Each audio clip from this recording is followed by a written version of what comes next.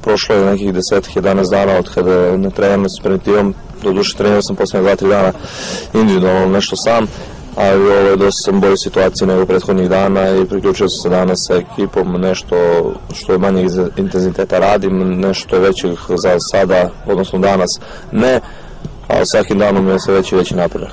Pa očekujem nas prvenstveno jako težak period u narednih 2, 3, 4 nedelje. Ovaj, znači taj period počinje sa radom, već u subotu sigurno jedna teška utakmica, e, ekipa rada, organizovana ekipa i sigurno će biti jako neizvjesno, znamo težinu te utakmice i značenje, tako da ćemo sa svim sredstvima usesrediti ka toj utakmici. Da mi... Pa kažem, u, u ovom narednom periodu imamo jedno 3-4 prekretnice, tako da je to jedna od prvih.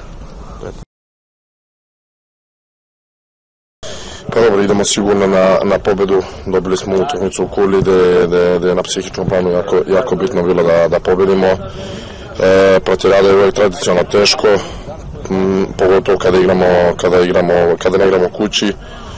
Međutim, sad igramo na Vrečaru, to nije ni njihov domaći teren, tako da, da to je stvarno jedna dobra ekipa sa dobrim igračima i ovaj, ja se nadam eto, da ta utakmica može da nam bude prekretnica u ovom prvenstvu.